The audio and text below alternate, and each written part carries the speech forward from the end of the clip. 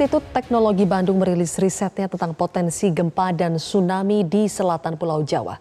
Namun masyarakat diminta tidak perlu panik karena potensi kegempaan ini masih rendah dan masyarakat serta pemerintah daerah diminta memperkuat mitigasi bencana di wilayah selatan Pulau Jawa. Hasil riset ini didapatkan dari hasil pengolahan data gempa yang tercatat oleh stasiun pengamat BMKG dan data dari Global Positioning System atau GPS. Pada acara dari riset tersebut diperoleh indikasi adanya zona dengan aktivitas kegempaan yang relatif rendah terhadap sekitarnya yang disebut dengan seismic gap di selatan Pulau Jawa. Seismic gap inilah yang berpotensi menjadi sumber gempa besar pada masa mendatang.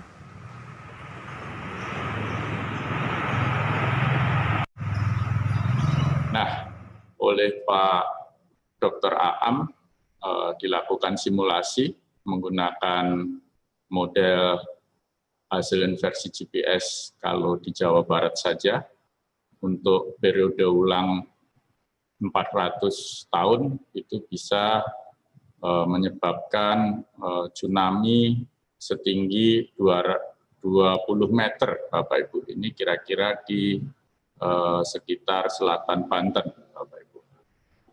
Nah, ke timur semakin kecil, tetapi jika yang pecah di sebelah timur segmen sebelah timur, maka bagian timur eh, tsunami-nya bisa mencapai 12 eh, meter kira-kira di selatan Blitar ini Bapak Ibu.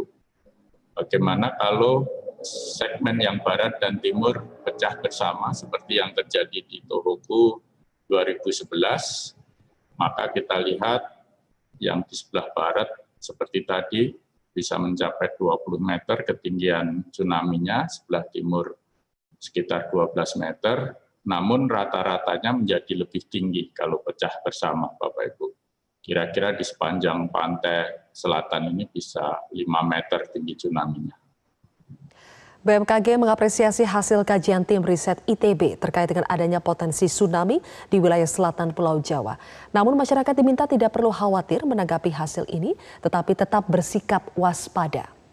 Deputi Bidang Geofisika BMKG Muhammad Sadli menjelaskan bukan hanya daerah selatan Jawa yang rawan terjadi tsunami, tapi juga di daerah lain seperti pantai barat Sumatera, Nusa Tenggara Barat, Nusa Tenggara Timur, Sulawesi Utara, Maluku hingga Papua. Namun masyarakat diimbau tidak perlu khawatir menanggapi hasil kajian tim riset ITB sebab hal tersebut merupakan hal lumrah dalam dunia ilmu pengetahuan. Namun yang paling penting ialah masyarakat harus tetap bersikap waspada sebab Indonesia disebut berada di wilayah Ring of Fire.